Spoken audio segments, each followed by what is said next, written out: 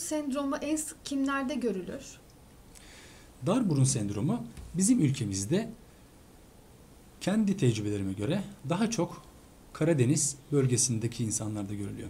Gerek cilt tipinin ince olması, gerek kemerli ve büyük burunları olması nedeniyle tıp dilinde daha çok tension, dolayısıyla gergin burun olarak Türkçe tarif edilecek olan bir terminoloji içerisinde Karadenizli halkımızın burunlarında darlık daha çok görülebiliyor. Teşekkür ederim.